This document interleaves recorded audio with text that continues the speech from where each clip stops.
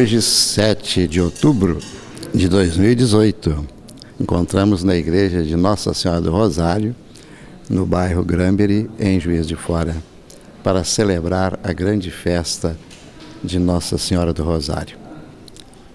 27 domingo do tempo comum, estamos celebrando e dentro desse domingo incluímos, portanto, a recordação dessa grande festa de Nossa Senhora, comemora a grande vitória da igreja contra a investida de pessoas infiéis, por intercessão de Nossa Senhora naquele ano de 1571.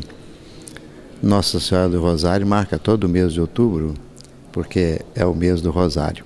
Então, nessa missa aqui na Paróquia do Rosário, nós estamos querendo justamente louvar a Maria e atender o pedido do Papa Francisco que todo o povo católico reze nesse mês o terço de Nossa Senhora em benefício da Igreja, incluindo a, a oração do Subtum Presidium, ou seja, a vossa proteção recorremos, e a oração de São Miguel Arcanjo, para que Deus afugente o poder do mal que ameaça certos setores da Igreja.